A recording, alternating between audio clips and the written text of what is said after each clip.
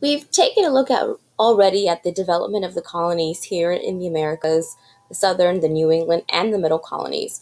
And so now we're going to focus on the development of these colonies now as American colonies. And we see how they begin to develop ideas and a culture of their own that makes them very different than the culture and the customs that they were accustomed to back in England. And we also begin to see some changes happening in England, which are going to affect the way that things are run and managed in the colonies as well. So we're going to begin with the Navigation Acts of the 1600s. And these are a series of acts, right, of laws that were passed in England regarding the colonies and how they were able to trade.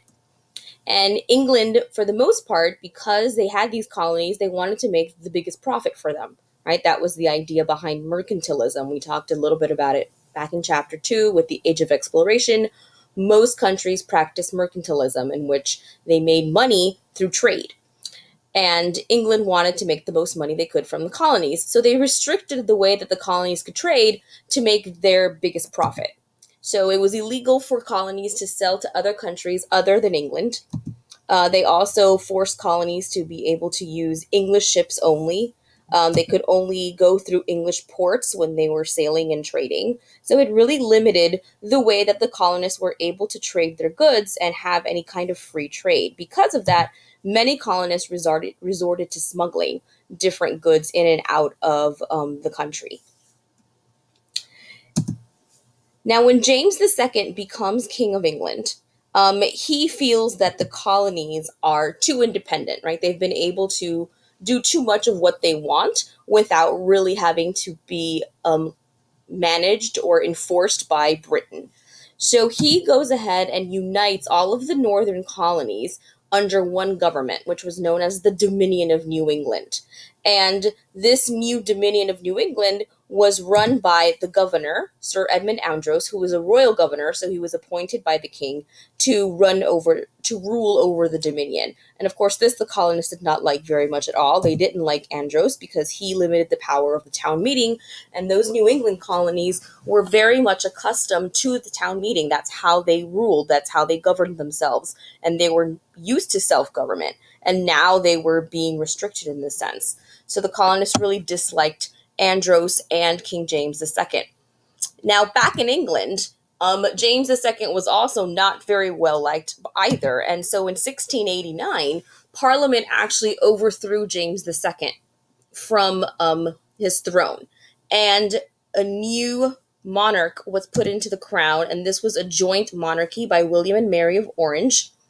Um, and this was known as the Glorious Revolution because they took over without a war or any kind of bloodshed. When William and Mary came into the throne, there was also the creation of Parliament of the English Bill of Rights. And this English Bill of Rights would be very important because this document was going to limit the power of the monarch and actually confirmed or affirmed the power of the Parliament. The power of the Parliament was then seen to be um, absolute or author- more authoritative than the power of the monarch. We had a limited power to the monarchy, which had not been seen before in other places. And for the colonists, what did this mean? The colonies then saw this as a way for them to be able to create their own assemblies and charters again.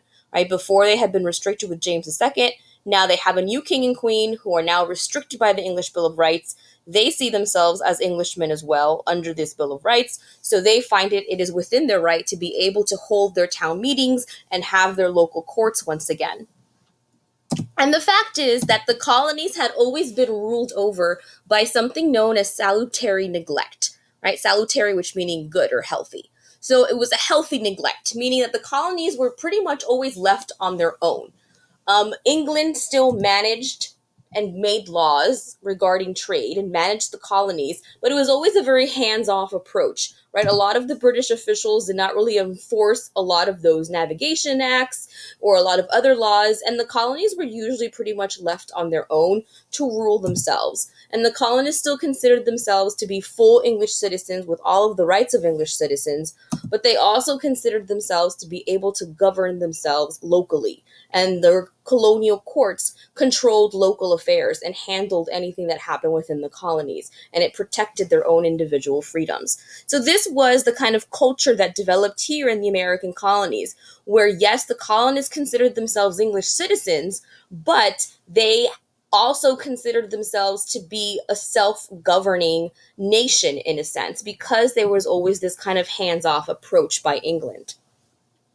And it's important to kind of remember this from the point of view of the colonists as we start to move forward um, and start to kind of look at the causes and the background to what leads to the revolution.